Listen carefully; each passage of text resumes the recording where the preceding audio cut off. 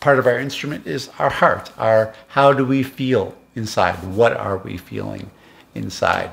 So it's important to stay calm and relaxed and even explore the feeling of peace, a peacefulness, as something that we stay connected to while we play.